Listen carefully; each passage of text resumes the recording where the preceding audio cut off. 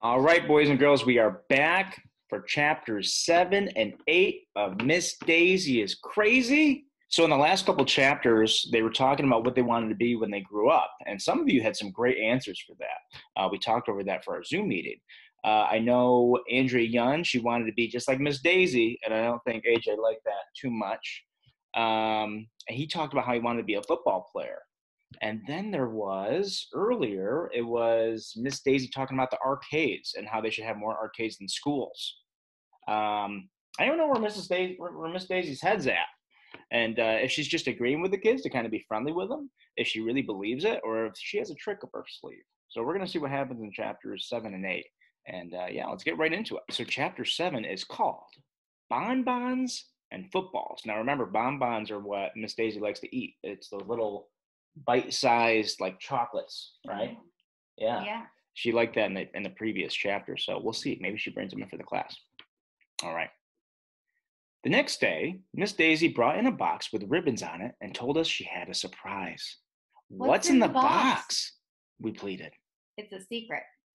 Please, Well, okay. she said, opening the box. It's bonbons. Miss Daisy said she thought we might be able to use them for arithmetic problems so we can learn together.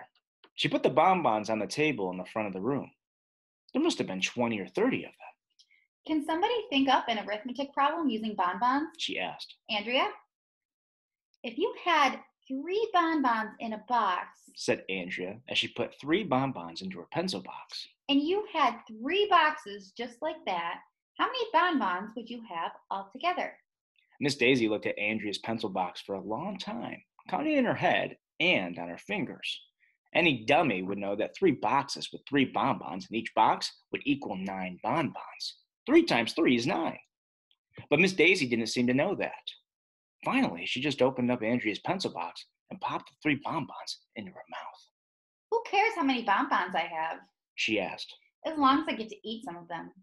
Miss Daisy really needs a lot of help with arithmetic. After she had eaten her bonbons, Miss Daisy passed out bonbons for all of us, and we had a bonbon party.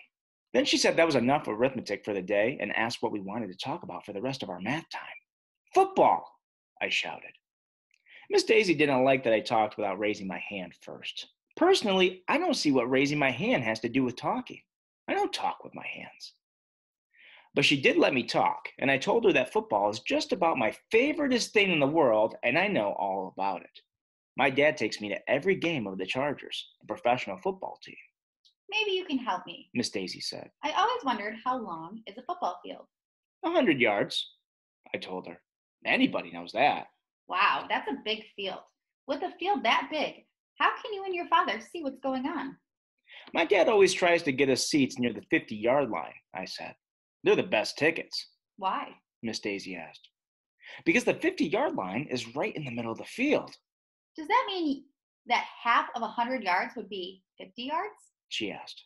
Yep. I see. Miss Daisy said. So if you know there are a 100 yards on a football field, do you know how many pennies there are in a dollar?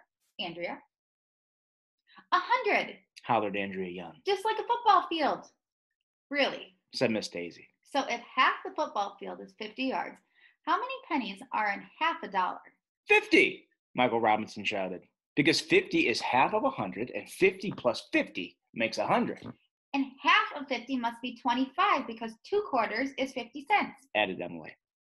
And four quarters makes a dollar, Ryan exclaimed. And four quarters makes a football game too. Miss Daisy shouted, jumping up and down with excitement. Wait a minute, I said. I thought you told us we were finished with arithmetic, This wasn't arithmetic, she told us. it was football. Well, okay, I said. Just as long as you weren't trying to sneak arithmetic into our conversation about football, Would I do that? Miss Daisy asked. And then she winked at me. Hmm. Sometimes it's hard to tell if Miss Daisy is serious or not. Chapter 8 A Lot of Books. On Thursday, Principal Klutz came into our class. He was wearing a hat, which almost made him look like a regular person who had hair on his head. I have to go to a meeting, Principal Klutz told us. But I heard that some of you second graders had something important you wanted to discuss with me. Miss Daisy said that I could ask my question. Can we buy the school? Hmm, Principal Klutz said. Hmm, is what grown ups say instead of er or um or uh when they don't know what to say. Why do you want to buy the school? Principal Klutz asked. Because we want to turn it into a video game arcade, I told him. Hmm, I see, the principal said. Schools cost a lot of money. How much? I asked. If you tell us how much it costs, we'll raise the money. I'll tell you what, Principal Klutz said. I can't sell you the school, but I can rent it to you for a night. Do you know the difference between buying and renting? Andrea Young got her hand up first, as usual. When you buy a video, you get to keep it forever. She said. If you rent it, you have to return it to the video store in a couple days. That's right, the principal said. Would you be interested in renting the school for a night? How much would that cost? I asked. One million pages, Principal Klutz replied. Huh? If you kids read a million pages in books, you can turn the school into a video game arcade for one night. A million pages? That sounded like a lot of books. How about a thousand pages? I suggested. A million, said Principal Klutz. That's my final offer. Take it or leave it. Would it be okay if some of the other classes helped us out? Miss Daisy asked.